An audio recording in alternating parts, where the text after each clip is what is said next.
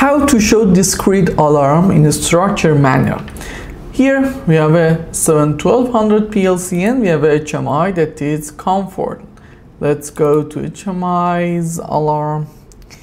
Here we have a tab discrete alarm. As you can see, I have a I have six alarms here and all of them trigger with a data block motor and it's a word barrier.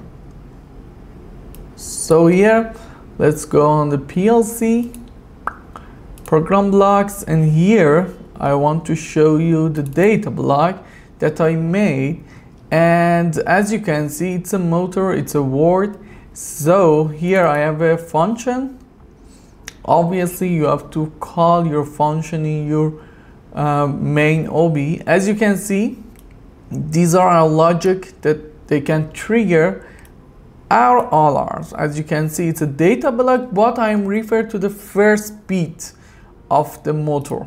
So here, let's check again. As you can see, I have a trigger tag, it's a motor, and trigger beat, it's 0, 1, 2, 3, 4, 5.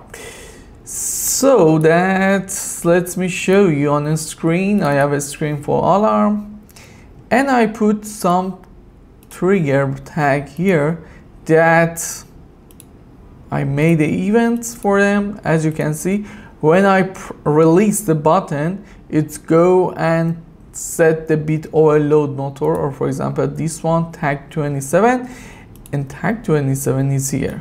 Okay? It's obvious. So let's go online and see what we have here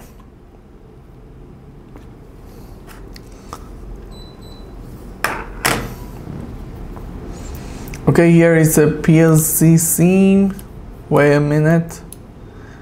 Oh my god, I have a problem with PLC SIM. Let's turn it on.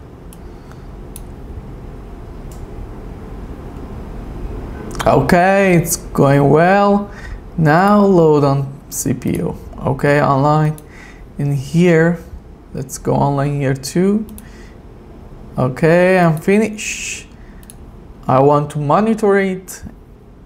As you can see we don't have any alarm right now. So the next step is go and simulate the HMI here we have HMI and I go to setting and here this is my page alarm. As you can see I have lots of alarm but here these are uh, honestly a system event. I can clear the alarm buffer and here you can the first alarm okay we have it the second and the third one. It's really beautiful.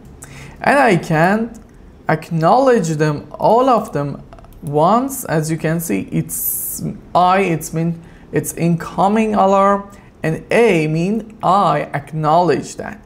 But as you can see still we have the alarm. It's, it's obvious. So let's me and reset all of them and let's go IAO with reset alarm as you can see incoming acknowledge and outgoing. This is guys how you can define discrete alarms in HMI